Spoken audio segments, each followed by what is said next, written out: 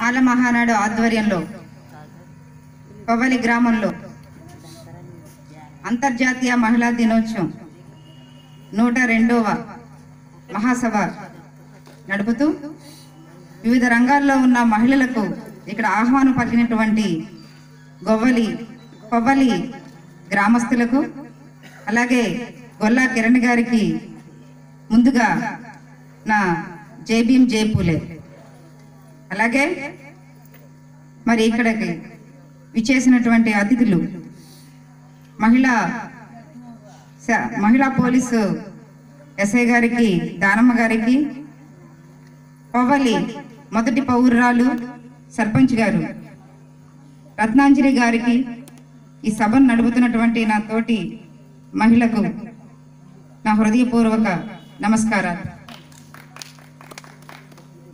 అసలు ఈ అంతర్జాతీయ మహిళా దినోత్సవం అనేది అసలు ఎలా ఏర్పడింది? అంటే అదొక విప్లవం ద్వారా. సిలోవెనియా అనే దేశంలో పద్దెనిమిది వందల యాభై ఏడులో ఒక మిల్లు కార్మిక ఉద్యోగులు పురుషులకి మహిళలకి వాళ్ళు చేసే పని వేతనానికి సమాన వేతనం ఇవ్వటం లేదని చెప్పేసి మహిళలు అక్కడ స్ట్రైక్ చేయటం ధర్నా చేయటం మొదలుపెట్టారు. ఆ ధర్నాలో వారు చెప్పిన నినాదం ఏంటంటే పురుషులతో సమానంగా మేము పని దినాలకి పని వేళలు చేస్తున్నాము. కానీ మాకు ఇచ్చే పని వేతనం మాత్రం తక్కువగా వస్తుందని చెప్పేసి ఆ రోజున సిల్వేనియా అనే దేశంలో ఈ ఉద్యమం మొట్టమొదటిగా పద్దెనిమిది వందల యాభై ఏడులో మహిళా మనులతో అది ప్రారంభమైంది. ఆ ప్రారంభం ఎలా ప్రారంభమైందంటే రోజువారికి ఇంత ముందు కిరణ్ చెప్పినట్టు నూట నలభై మంది మహిళలు పోయినప్పుడు కూడా ఐదు వేల మంది మహిళలతోటి ఆ ఉద్యమం చేసి దాన్ని వాళ్ళు ఏదైతే ఆ పని వేతనానికి సమయానికి కానీ ఏ సమయంతో చేస్తున్న పురుషులతో సమానంగా ఆ పని వేతనాన్ని సాధించుకోగలిగారు.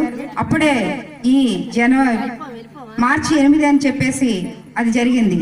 అప్పట్లోనే ఈ ఐక్యరాజ్య సమితిలో దీన్ని ఈ మహిళా దినోత్సవం సందర్భంగా ఏ రోజు పెడితే బాగుంటుందని చెప్పేసి ఈ ఉద్యమాన్ని స్ఫూర్తిగా తీసుకొని మార్చి ఎనిమిదో తారీఖున ఫ్రెంచ్ విప్లవం ద్వారా కూడా వచ్చినటువంటి మార్పు ద్వారా ఈ రోజు అనేది అంతర్జాతీయ మహిళా దినోత్సవంగా ఈ రోజు ప్రకటించారు. మరి ఆ రోజుల్లోనే పద్దెనిమిది వందల యాభై ఏడు దశాబ్దాల్లోనే మహిళలు అంత విప్లవం వస్తే ఈ రోజు ఈ కొవ్వలి గ్రామంలో మరి ఇక్కడ గొల్లా కిరణ్ ఇంటింటికి నాకు ఎవరు గుర్తొచ్చారంటే ఇంతకు ముందు మరి రత్నాంజలి గారు చెప్పినట్టు సావిత్రిబాబు గురించి ఇంటింటికి ఒక డోర్ కొట్టి అమ్మ రండి చదువుకోండి అని చెప్పేసి ఈదుల్లోకి పిలిచి వాళ్ళు చైతన్యపరిచే విధంగా ఏ విధంగా అయితే ఆ రోజున సావిత్రిబాబు పూలే జ్యోతిబా పూలే ఈ రోజున ఈ కొవ్వల్లో గొల్లా కిరణ్ మీరు మీరంతా గుర్తొచ్చారు. అమ్మ రండి తర్వాత పనులు చేసుకుందరు కానీ మీరు ముందు ఇక్కడికి వచ్చి ఈ దినోత్సవం అనేది మహిళల కోసం మీ కోసం మీ గురించి అసలు మీరు ఏమేం చేసుకోవాలి చట్టాలు ఎలాంటివి ఉన్నాయని చెప్పడం గురించి మీకు అవగాహన కల్పించడం గురించి రండి అని చెప్పేసి మరి మైక్లో చెప్పడం కానీ ఇంటింటికి వెళ్ళి ఇక్కడ పిలవడం కానీ చూస్తే నాకు ఆ రోజున సావిత్రిబాయి పూలే జ్యోతిబాయి పూలే చేసినటువంటి కార్యక్రమాలు గుర్తొచ్చాయి. ఇలాంటి కార్యక్రమాల ద్వారా చైతన్యం చేయాలి గ్రామాల్లో. నాకు ఇంకొకటి ముచ్చటేసింది ఏంటంటే కొల్లేరు గ్రామాల్లో నేను మీ ఊరు కొల్లేరు గ్రామానికి ఆడబడిచినే ఈ కొల్లేరు గ్రామాల్లో ఎన్నో గ్రామాలు తిరిగినప్పటికీ అక్కడ అక్కడ గ్రామ సర్పంచులు మహిళ అయినప్పటికీ పురుష ఆధిక్యతటి పురుషులే పైకి రావటం జరుగుతుంది వారే మాట్లాడటం జరుగుతుంది. అది కూడా ఈ మహిళా బిల్లు రాకపోవడానికి ఒక కారణం. ఈవిడ ఇంత చక్కగా మీ సర్పంచ్ గారు రత్నాంజలి గారు వచ్చి బాబాసాహెబ్ అంబేద్కర్ గారు పెట్టినటువంటి రిజర్వేషన్ వల్ల నేను ఈ రోజు ఇక్కడ మీకు మాట్లాడగలుగుతున్నాను. సావిత్రిబాబులే గురించి పోయి మాట్లాడుతుంటే నాకు చాలా ఆనందం వేసింది. ఎందుకంటే కొల్లేరు లంక గ్రామాల్లో మొత్తం నూట ఇరవై రెండు గ్రామాలు నేను పర్యటించాను. మీ గ్రామానికి కూడా ఇది మూడోసారి. ఫస్ట్ మొదటి మొట్టమొదటిసారిగా గత సంవత్సరంలో చంద్రబాబు నాయుడు గారు వస్తున్నారని చెప్పేసి మీ గ్రామ పెద్దలతోటి నేను ఇక్కడ కమిటీలో దీని దాని గురించి చెప్పి ఇక్కడ మనకి కొల్లేరుకి సంబంధించిన సొసైటీలు మీ గ్రామంలో కూడా కొవ్వలికి సంబంధించి ఒక సొసైటీ ఉంది మత్స్యకారులకు సంబంధించి. ఆ సొసైటీ జలగ వెంగళరావు గారు ఇచ్చింది. దాన్ని కూడా ఈ కాంటూరు విషయంలో వన్ ట్వంటీ జీవో తీసుకొచ్చినప్పుడు రెండు వేల ఆరులో కొట్టేయడం జరిగింది. దాని నిమిత్తంగా మేము ఒక రిపోర్ట్ తయారు చేసి అన్ని గ్రామాల్లో తిరగడం భాగంగా ఇటు దోసపాడు కొవ్వలి కూడా మేము సందర్శించడం జరిగింది. చంద్రబాబు నాయుడు గారికి ఒక నివేదిక ఇవ్వడంలో అసలు ఈ కాంటూరు విషయంలో ఫస్ట్ సుప్రీంకోర్టుకి వేసింది కొవ్వలి నుంచి దోసపాడు నుంచి అయితే గనక ఎస్సీ సోదరులే కొల్లేరులో ఉన్న మత్స్యకారులు వడ్డీలు కాకపోయినా ఎస్సీలు వేశారు కానీ దాన్ని పూర్తి స్థాయిలో దాన్ని నిర్వర్తించలేకపోయారు. దాన్ని ఫైట్ చేయలేకపోయారు. తర్వాత ఈ కొల్లేరు భూముల గురించి ఆ ఒక రాజుగారు దాన్ని పట్టుకుని ఇంకా ఫైట్ చేస్తున్నారు. దాని నిమిత్తం కూడా నేను ఢిల్లీ వెళ్ళటం జరిగింది. ఈ కొల్లేరులో ఉన్న భూముల్లో భాగంగా మరి దానికి సంబంధించిన గొల్లా కిరణ్ కూడా ఫేస్బుక్ వాట్సాప్ పేపర్లో చూసి ఢిల్లీ వచ్చిన తర్వాత నన్ను కలిసి మేడం గారు ఇలాగా పవ్వల్లో కూడా సొసైటీ జలగ వెంకటరావు ఇచ్చిన సొసైటీ భూమి ఉంది. ఆ భూమి గనక మా గ్రామానికి గనక వస్తే గనక ఖచ్చితంగా ఇక్కడ ఉన్న పేద ప్రజలకి వాళ్ళకి ఫలితం వస్తుంది. కనుక మమ్మల్ని కూడా భాగస్వాములు చేసుకోండి. దానిలో భాగంగా మీ గ్రామస్తులుగా మేము మీకు సహకరిస్తామని చెప్పేసి ఆ రోజున పేపర్ ప్రకటన చూసి నేను ఢిల్లీ వచ్చిన తర్వాత మొట్టమొదటిగా మీ గ్రామం నుంచి నాకు ఫోన్ చేసి మాట్లాడిన వ్యక్తి గొల్లా కిరణ్. అప్పటి నుంచి ఆయన మీద అభిమానం పెరిగి ఆ తర్వాత నేను ఒక మీటింగ్ పిలవటం జరిగింది. ఆ తర్వాత మళ్ళీ ఆయన ఇది నాకు రెండోసారి ఆహ్వానించడం జరిగింది. అంతకు ముందు ముగ్గులు పోటీకి గాను ప్రైజ్ డిస్ట్రిబ్యూట్ చేయడానికి నన్ను పిలిచినప్పుడు ఇతనిలో ఉన్న ఉత్సాహం చూసి అసలు ప్రజల్లోకి మమేకమైపోయి గ్రామీణ ప్రాంతంలో ఉన్న మహిళలను చైతన్యపరుస్తున్నారు. ఇలాంటి అతను పిలిచినప్పుడు మనం వెళ్ళాలి. ఎన్ని ఇబ్బందులు ఉన్నా సరే ఎన్ని మీటింగ్స్ ఉన్నా సరే. నేను ఈ రోజు మూడు మీటింగ్లకు అటెండ్ అయ్యి ఆయన చెప్పినప్పుడు కూడా మీరు రావాలి మేడం గారు అని అంటే నేను రావడం జరిగింది. అలాగే బాబాసాహెబ్ అంబేద్కర్ గారు ఆ రోజున హిందూ కోడ్ బిల్లు గురించి చక్కగా చెప్పారు. వారు న్యాయశాఖ మంత్రి పదవినికే వదిలేశారు.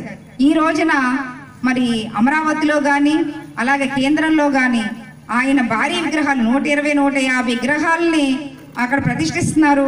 అధికారికంగా ఉత్సవాలని జయ జయంతులని అంబేద్కర్ గారు పుట్టినరోజులని చెప్పేసి కేంద్రంలో ఢిల్లీలో ఈ రాష్ట్ర ప్రభుత్వాలు కేంద్ర ప్రభుత్వాలు జరుగుతున్నాయే గాని మరి ఆనాడు రాజ్యాంగంలో రాసినటువంటి ఈ సమాన హక్కు పురుషులకి స్త్రీలకి ఓటు హక్కు కల్పించడంతో పాటు ఆస్తి హక్కుతో పాటు మొత్తం సమాజంలో అంత సమాన హక్కు అని చెప్పేసి హిందూ కోడ్ బిల్లు ప్రవేశపెట్టి ఆయన రాజీనామా చేశాడే.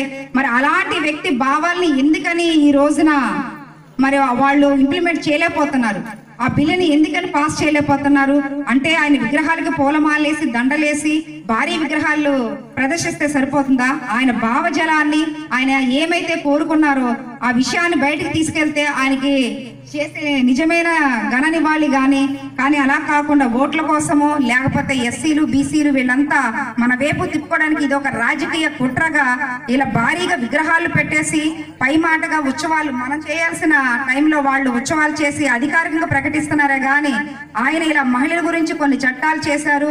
మహిళల గురించి రాజకీయంగా ఆయన హిందూ కోడ్ బిల్లు ప్రవేశపెట్టి మరి రాజకీయంగా ఆయన పదవిలో ఉంటున్నప్పటికీ న్యాయశాఖ కొంత రాజీనామా చేశారు కాబట్టి ఆ ఆయనకి గౌరవించడం అంటే ఆయన మహిళల గురించి చేసినటువంటి చట్టాలని మనం దాన్ని ఇంప్లిమెంట్ చేయాలి బిల్లులు పాస్ చేయాలి అన్నది చిత్తశుద్ధి కేంద్ర ప్రభుత్వాలు కానీ రాష్ట్ర ప్రభుత్వాలు కానీ లేవు. అసలు ఎవరికి ఇది? మాకు థర్టీ త్రీ పర్సెంట్ బిల్లు ఉందా అని ఇంతకు ముందు దానమ్మ గారు అన్నారు. అసలు ముప్పై మూడు శాతం ఏంటి? ఆకాశంలో సగభాగం అంటున్నారు. అలాగే అవకాశాల సగభాగం అంటున్నారు. ఓట్ల సగభాగం జనాభాల సగభాగం అయిన మాకు ముప్పై మూడు శాతం కాదు యాభై శాతం ఇవ్వాలి. అసలు వాళ్ళు ఇచ్చేదంటే? అసలు మాకు హక్కు ఉంది. కానీ దాన్ని ఈ రకంగా మన మన హక్కు ఏంటి? అసలు మన ముప్పై మూడు శాతం వాళ్ళు ఇవ్వటం కాదు.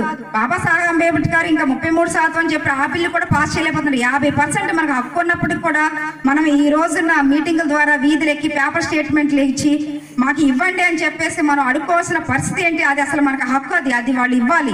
కానీ అలా ఇవ్వకుండా ఈ రోజున ఈ వేదికల మీద పేపర్ స్టేట్మెంట్ మీద మాకు ఇవ్వండి అని అడుక్కునేలాగా ఈ ప్రభుత్వాలు చేస్తున్నాయి. ఈ మహిళల్ని అడుక్కునే దిశగా చేస్తున్నాయి అంటే కనుక రేపొద్దున్నే పర్యావసానం చాలా ఇదిగా ఉంటుంది.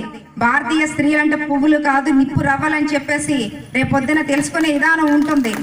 దాడికి దాడికి ప్రతి దాడి చేస్తారు. పేటాన్ని కూడా అసలు వాళ్ళు అద అధిరోహిస్తారు. ఎన్నో ఇప్పుడు కొంతమంది మహిళలు మాత్రమే ఇది చేస్తున్నారు. రెండు వేల పదకొండు లెక్కల ప్రకారం ఇరవై ఐదు పర్సెంట్ వృద్ధేట మహిళలు మాత్రమే ఉన్నారు. ఈ రోజు లెక్కల ప్రకారం ఇరవై నాలుగు పర్సెంట్ అంటే ఒక పర్సెంట్ తగ్గిపోతుంది. అది ఎందుకంటే వాళ్ళ ఎందుకు ముందుకు వెళ్ళిపోతున్నారు? ఆకాశంలోకి ఎగురుతున్నారు పైలట్ చేస్తున్నారు. మొత్తం అన్ని రంగాల్లో వీళ్ళుంటున్నారు ఉద్యోగ రంగాల్లో అని చెప్పేసి ఇంకా వాళ్ళని అనగదొక్కుదామన్న ఉద్దేశంతో వీరు కుట్రలు పన్నుతున్నారు కానీ అవి చలామణి అయ్యే ఇదిలో లేదు. ఈ రోజున కూడా కొంతమంది ఉన్నారు అంటే మహిళలు ఆ వాళ్ళు మాత్రం అగ్రవర్ణాల్లో ఉన్న మహిళలు మాత్రమే. రేపొద్దున బాబాసాహెబ్ అంబేద్కర్ గారు ఏవైతే ఎస్సీ ఎస్టీలకి బహుజనులకి రిజర్వేషన్ కల్పించారో రేపొద్దున మహిళా బిల్లు వచ్చినప్పటికీ ఆ చట్ట రూపంలో వస్తుంది వచ్చేదాకా మేము పోరాడతాము. అది లోక్సభలో కూడా రే పంతొమ్మిది తొంభై ఒకటిలో ప్రవేశపెట్టారు. ఆ రోజున మీరా కుమారి గారు అలాగే కాంగ్రెస్ చైర్మన్ అయినటువంటి సోనియా గాంధీ గారు. నామమాత్రంగానే ఉన్నప్పటికీ మన్మోహన్ సింగ్ గారు మొత్తం ఆ పార్టీ తరపున మొత్తం దాడి అంతా ఆవిడ చేతిలోనే ఉంది. కానీ అలాంటి టైంలో కూడా అంత మా పెద్ద పెద్ద మహామణులు ఉన్నప్పుడు కూడా ఈ మహిళా బిల్లును చేయలే చేయలేకపోయారంటే కనుక కారణం ఏంటంటే అగ్ర కులాల స్త్రీలు మాకు ఎట్లాగో మహిళ కొన్ని సీట్లు ఇవ్వాలి కాబట్టి ఆ అగ్ర కులాల స్త్రీలకు మాకు ఇస్తారు కాబట్టి మా వరకు మేము సరిపోతుందిలే. ఈ థర్టీ త్రీ పర్సెంట్ బిల్లు కానీ లేకపోతే యాభై పర్సెంట్ రిజర్వేషన్ కానీ వస్తే ఈ బహుజన కులాల ఎస్సీ ఎస్టీ బీసీ మహిళలలో మహిళలు బయటకు వచ్చేటప్పటికి వాళ్ళలో కూడా చైతన్యం వస్తుంది వాళ్ళలో ఎదుగుదల ఉంటుంది అభివృద్ధి ఉంటుంది అన్న సంకుచిత బుద్ధితోటి ఆ రోజున చేయలేదేమో అని చెప్పేసి అనిపిస్తుంది. ఫస్ట్ లోక్సభలో మొట్టమొదటి కార్యక్రమాలు ఇద్దరు మహిళలు ఉన్నప్పటికీ పద పదహారవ లోక్సభకి అరవై రెండు మంది మహిళలు వచ్చారు. ఇది మంచి పరిణామం అయినప్పటికీ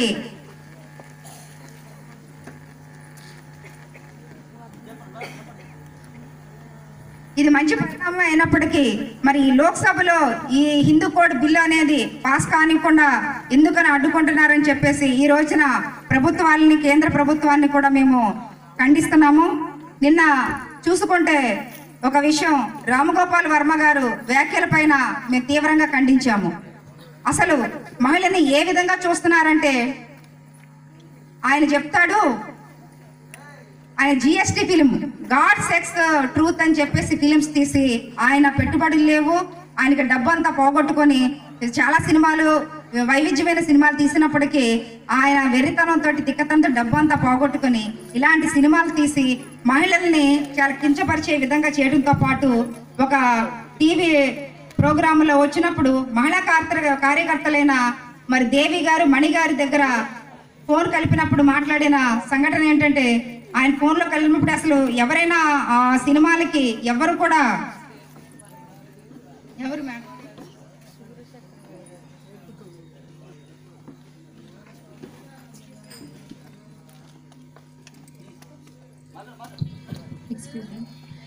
నమస్తే madam. ICPS child development child protection officer Shrimati Ch Surya Chakraveni గారికి స్వాగతం చెప్తూ గట్టిగా ఒకసారి అందరూ చప్పట్లు కొట్టండి. Thank you madam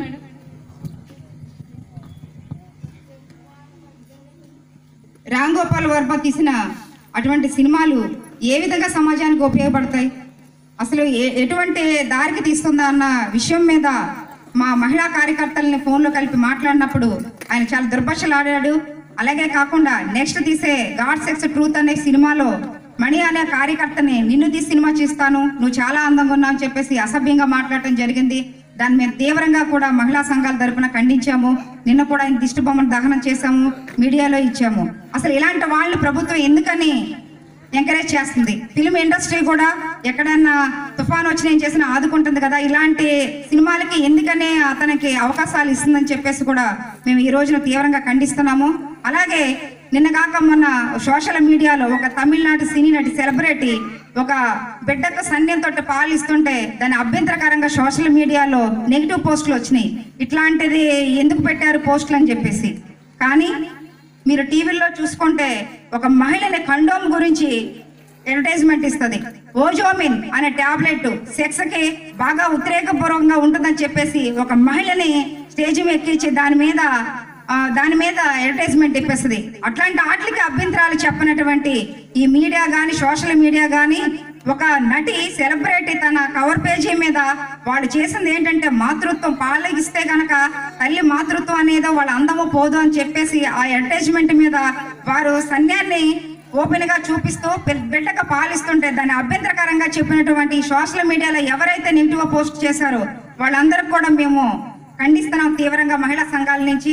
ఎందుకంటే మీరు ఎటువంటి పోస్టులకి ఖండించాలి అటువంటి పోస్టులకి ఒక మహిళని ఎక్కడైతే చూపించకూడదో అటువంటి ఆటలకి మాత్రం మీరు మీడియా రేట్ల కోసం ఒక మహిళని అర్ధనగరంగా చూపిస్తూ ఈ దేనికైతే ఒక చూపించకూడదు ఓజోమెన్ టాబ్లెట్స్కి కండోమ్స్కి ఇట్లాంటి వాటికి అడ్వర్టైజ్మెంట్ చూపిస్తున్నారు కానీ ఒక తల్లి బిడ్డకు పాలిస్తున్నటువంటి అడ్వర్టైజ్మెంట్ ఇస్తే దాన్ని నెగిటివ్గా చూపించి పోస్టులు పెట్టడం అనేది సవ్వకు తగ్గ ఆవిడ ఎవరంటే సావిత్రిరావు పూలే. ఈ రోజున నేను కానీ ఆవిడ కానీ కొంతమంది ఉద్యోగులు కానీ రాజకీయ నేతలుగా కానీ ఎదిగినటువంటి మహిళలు ఈ రోజున సావిత్రిరావు పూలే గారిని